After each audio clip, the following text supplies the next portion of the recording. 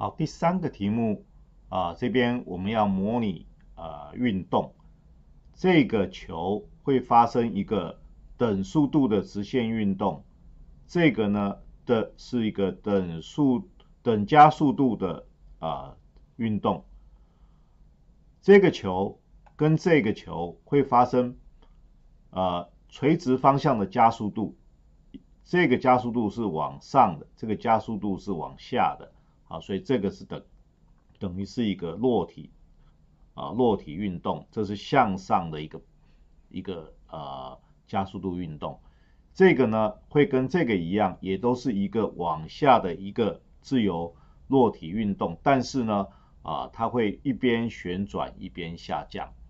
好，我们来看一下这五个物体的运动啊，然后再请各位同学呢。把这个运动所需要的程式把它完成，啊，大概就是像这个样子啊，你可以看见由这个点的这个疏密程度，你可以比较这两个就知道，这个是一个加速度运动，这边的间隔比较小，这边间隔已经变大了啊。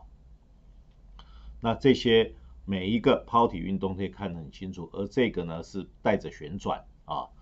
好。那这个呢，就是我们要做的这个城市的模拟。那么做这个城市的模拟所需要的城市的基本架构呢，如这个城市所显示的啊。那么在这个注解的部分，有一些还没有完成的地方，这个绿色的部分，请同学们把它完成了，就可以做出我们所需要的一个模拟的结果。